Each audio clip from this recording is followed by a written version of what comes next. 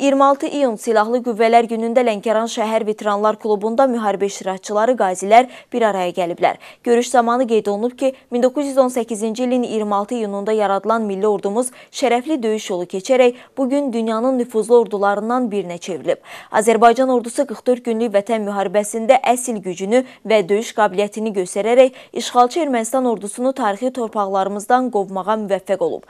Bu yolda neçə-neçə igid hərbçilərimiz qəhrəmancasına şəhid olaraq adlarını hərb tariximizə qızıl hərflərlə yazdırıblar. Diqqətə çatdırılıb ki, Ali Baş Komandan İlham Əliyev daim ordu quruculuğunu, şəhid ailələrini, müharibə iştirakçılarını diqqətdə saxlayır.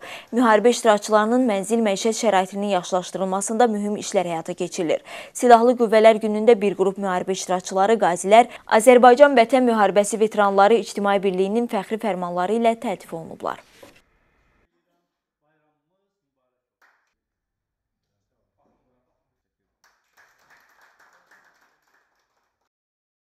Azərbaycan Silahlı Qüvvələrinin yaranmasının 105-ci il dönümü qeyd olunur. Müharibə veteranlarını, qazilərimizi təbrik edirəm.